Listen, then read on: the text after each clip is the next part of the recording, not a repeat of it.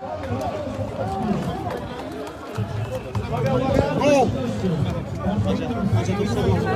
Głupek! Stójcie coś, to są.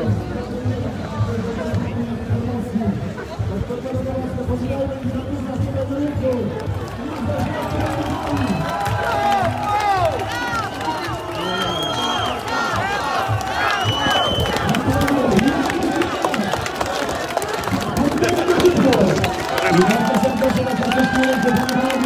Kandydat na prezydenta Rzeczypospolitej, prezydent Warszawy, Rafał Trzaskowski, witamy w Kartuzach. Rafał! Rafał! Rafał! Kartuzy są gościnne, kartuzy są przyjazne. Jest pan burmistrz, jest pan prezydent. Za chwileczkę głos zabierze pan burmistrz. Bardzo proszę. Raz, raz. Szanowni Państwo,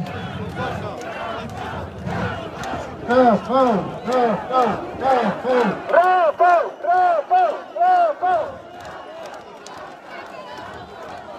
Szanowni Państwo, pozwólcie, że w kilku słowach, słuchajcie, witam Was bardzo serdecznie, że przybyliście tutaj tak licznie. Dajmy chwilę wytchnienia, abyśmy mogli kilka zdań z Wami porozmawiać. Słuchajcie Państwo, jesteśmy na kartuskim rynku. Po raz pierwszy w historii tego miasta po raz pierwszy w historii tego miasta prezydent Warszawy odwiedza stolicę Kaszub. Prezydent stolicy Polski odwiedza stolicę Kaszub.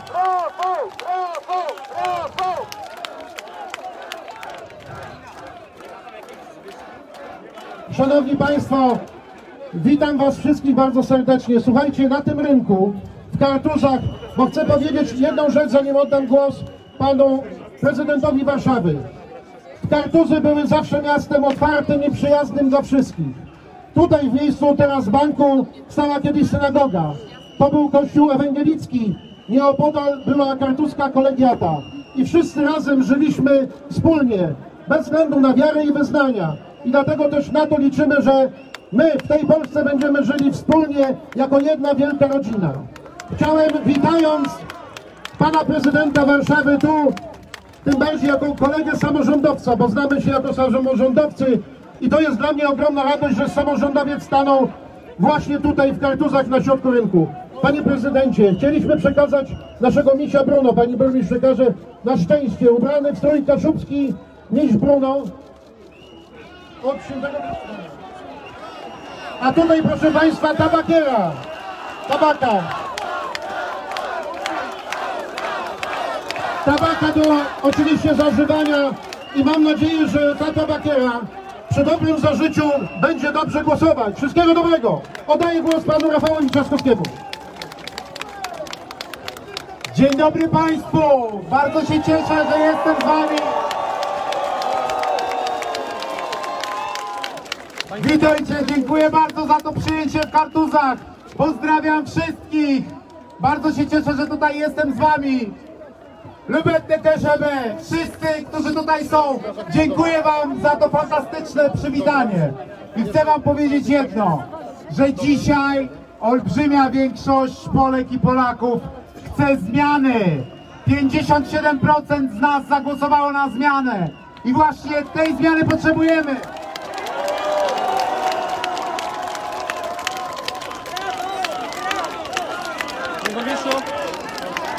Kochani Państwo, potrzebna nam jest Polska dumna ze swojej różnorodności. Polska, w której wszyscy doceniamy naszych samorządowców. Chciałem podziękować serdecznie wszystkim samorządowcom za zaproszenie. Dziękuję Panie Burmistrzu. Są z nami również samorządowcy z Pomorza i Pan Marszałek i Pani Prezydent Gdańska. Dziękuję Wam za to, że jesteście z nami, bo tak naprawdę to właśnie dzięki Wam wszystkim, dzięki samorządom Polska się tak zmieniła i nie damy sobie odebrać tej dumy.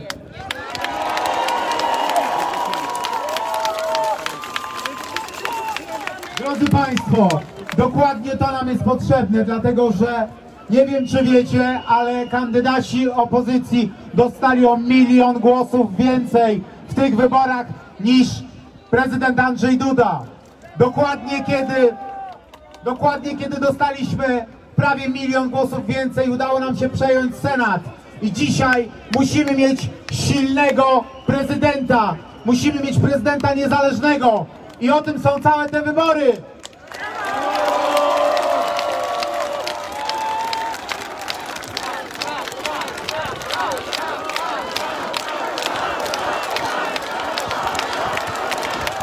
Drodzy Państwo, tutaj wynik na Pomorzu i na Kaszubach był bardzo dobry, ale jeżeli popatrzymy na całą Polskę, jeżeli dodamy wyniki kandydatów zmiany, to okazuje się, że wygrywamy w większości regionów w Polsce. I o to chodzi, żeby w tej chwili skoncentrować pełną energię na tym, żeby pójść 12 lipca do wyborów. Jestem przekonany, że jak zrobimy to wszyscy razem, to wygramy te wybory.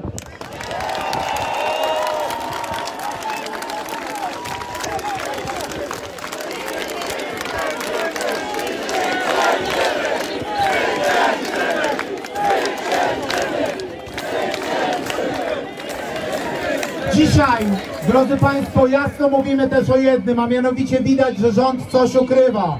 Ukrywa przed nami stan finansów państwa i dlatego jasno się domagam, żeby rząd, pan prezydent Andrzej Duda powiedział nam prawdę, dlatego że dziura Morawieckiego się powiększa. I dlatego zapowiadam jedno, a mianowicie weto podatkowe. Jeżeli znowu rządzący będą chcieli narzucać na nas nowe podatki, a prezydent Duda podpisał 30 nowych obciążeń i podatków, to wtedy będzie moje jasne weto. Nie damy przerzucać na siebie kolejnych obciążeń i będzie weto podatkowe.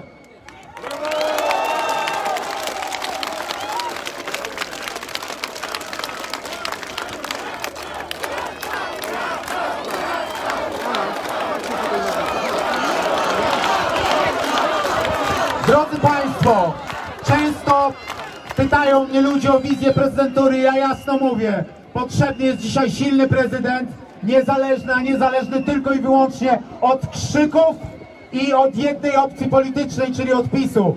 Potrzebny jest prezydent, który wyciągnie rękę do wszystkich tych, którzy chcą Polskę zmieniać. I ja jestem gotów absolutnie być kandydatem zmiany.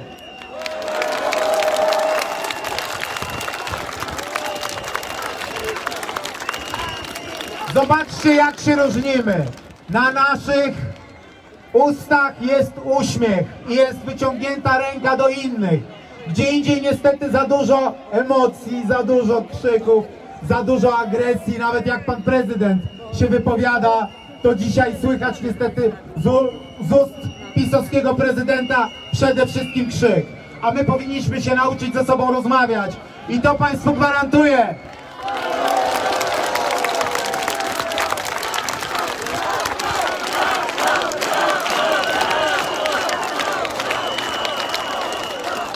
Często pada pytanie, jaka prezydentura? Otóż współpraca z rządem, tam gdzie rząd będzie chciał naprawiać to, co zniszczył, albo podejmować trudne, racjonalne decyzje. I tam będzie współpraca.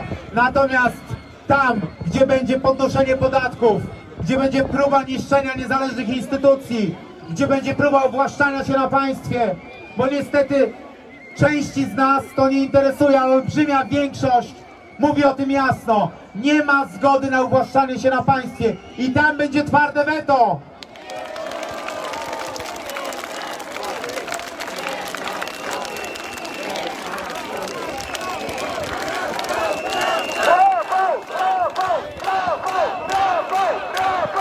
Powiem wam więcej, bo czasami trzeba czytać transparenty. To jeden pan trzyma transparent, tu jest Polska. Nie musi pan nas tego uczyć. My świetnie wiemy, gdzie jest Polska. To, że pan trzyma ten transparent, to znaczy, że pewnie pan nie wie, gdzie jest Polska. Otóż tu jest Polska. Polska jest wszędzie tam, gdzie są dumne Polki i Polacy. I jesteśmy również dumni ze swojej różnorodności, ze swojej tradycji wywodzimy się z tej tradycji, będziemy wspierali te tradycje, będziemy wspierali różnorodność i nie damy się podzielić tym, którzy zadają głupie pytania.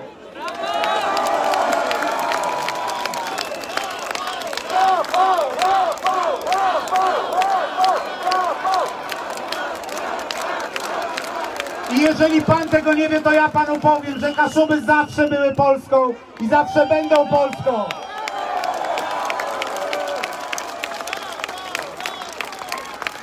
Jeżeli tylko rząd będzie chciał rozmawiać, bo ostatnio przysyła paru krzykaczy. Jeżeli będzie chciał rozmawiać, to ja jasno powiem. Poprę wszystkie inicjatywy, którą będą chciały przede wszystkim wspierać Polki i Polaków i polepszać ich los. Jeżeli wreszcie pan prezydent podejmie decyzję o pomocy frankowiczom, jeżeli podejmie decyzję o kwocie wolnej od podatku, jeżeli podejmie decyzję o emeryturze bez podatków, to oczywiście, że poprę te wszystkie inicjatywy.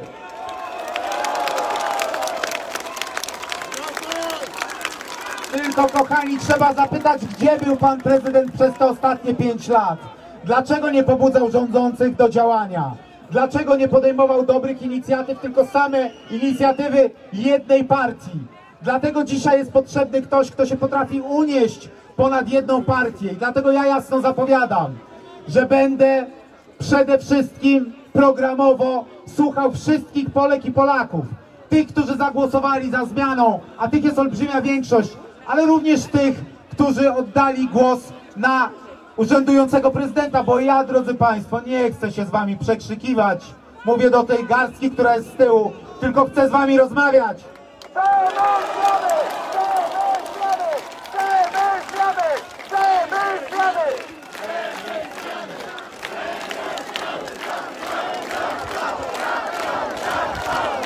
Drodzy Państwo, to co najważniejsze, jest nas więcej. To co najważniejsze, bardzo wiele postulatów wszystkich kandydatów opozycji jest identycznych. Twarda obrona samorządu. A przecież wiecie, że dzisiaj rządzący i pisowski prezydent Andrzej Duda chcą przede wszystkim atakować samorządy. I nie pozwolimy im na to, bo właśnie tacy samorządowcy, jak wasz burmistrz, jak pani prezydent Aleksandra Dulkiewicz, jak pan prezydent Jacek Karnowski, którzy są tutaj z nami, mieli na tyle twardy kręgosłup, żeby powiedzieć jasno nie niszczeniu państwa, jasno nie wydawaniu waszych danych osobistych bez żadnej podstawy prawnej. No i niestety naraziliśmy się panu prezydentowi z PiS oraz rządzącym i panu prezesowi. I jasno mówimy, nie pozwolimy zniszczyć samorządu.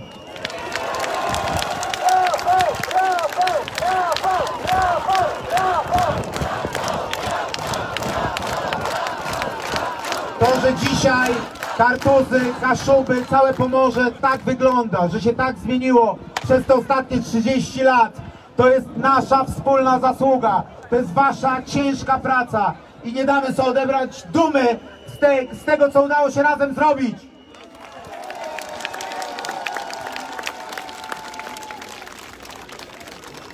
I na koniec chcę Was poprosić o jedno, jeszcze więcej mobilizacji. Dlatego, że ludzi dobrej woli jest po prostu więcej. Nas jest więcej. I nikt nas nie zagłuszy, nie przekrzyczy i nikt nie będzie w stanie z nami wygrać, jeżeli będziemy razem.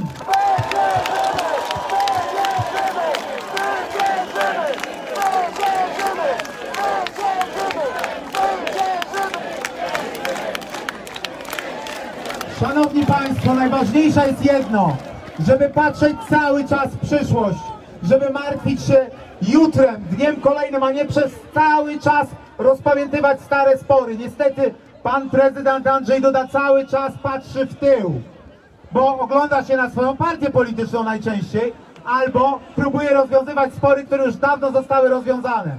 Panie prezydencie, niech się pan wywiąże ze swoich obietnic, niech pan patrzy w przyszłość. I co najważniejsze, nazwał pan kiedyś swoich konkurentów cykorami. No więc dzisiaj niestety, jeżeli ucieka pan od debaty, to o panu młodzież będzie mówiła dokładnie w ten sam sposób. Stańmy do debaty, ale nie debaty, która jest ułożona, która jest fikcją, tak jak w TVP, tylko do prawdziwej debaty o prawdziwych problemach.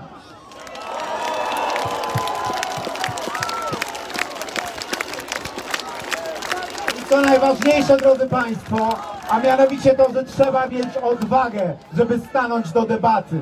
Do debaty na równych prawach, bo wszyscy zasługujemy na poważną rozmowę o Polsce.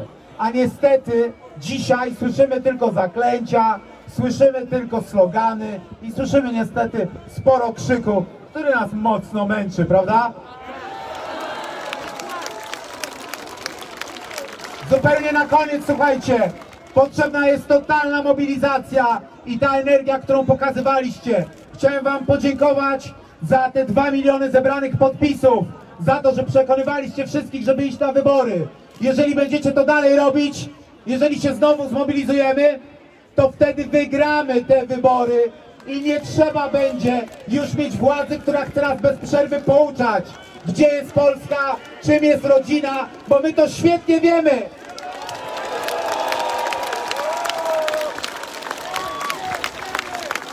I jestem przekonany, że wygramy te wybory. Zwyciężymy! Zwyciężymy! I tego panu prezydentowi życzymy 12 lipca. Słuchajcie Państwo, jeszcze jedną warunkę, e, prośba. E, Stowarzyszenie Otwarte Kaszuby chciało przekazać coś Panu Prezydentowi ważnego, naszego Kaszubskiego.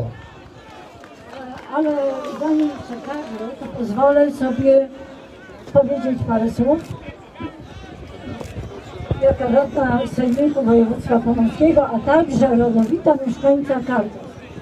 W imieniu tych wszystkich, którzy tutaj podpisywali, kibicowali, e, serdecznie Wam, kochani, dziękuję, ale przede wszystkim dziękuję Panu Prezydentowi z całego serca, że zechciał zaszczycić nasze najpiękniejsze na świecie Kaszuby.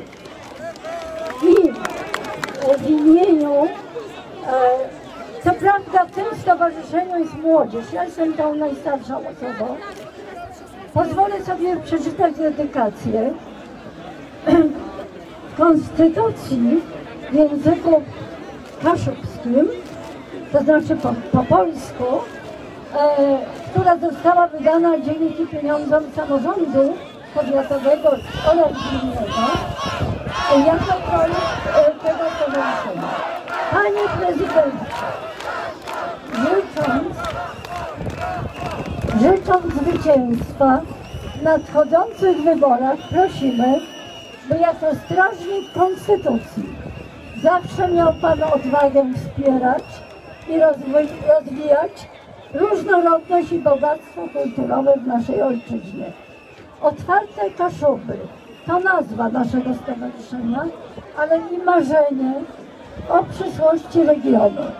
Trzymamy kciuki, by już wkrótce budował Pan otwartą Polskę. Członkowie Stowarzyszenia Otwarte. Brawo! Dziękujemy bardzo za przekazanie. Brawo! Brawo! Brawo! A ja mam prośbę, słuchajcie, do tych wszystkich, którzy w małej grupie są gdzieś tam z tyłu. Jak Państwo chcecie gwizdać, to nie gwizdźcie na konstytucję ani na hymn, jak to się Wam przydarza, bo to są świętości narodowe. Więc ty w tym momencie brawa powinny tylko być. Dziękuję bardzo. Dziękujemy, niechaj ta przekazana konstytucja w języku polskim i kaszubskim. To jest dobra nauka do języka kaszubskiego, bo można paragrafy szczytywać i uczyć się. Życzymy Ci tego, Rafale, żebyś naprawdę był również naszym przewodnikiem. Wszystkiego dobrego! Zwycięstwa życzymy!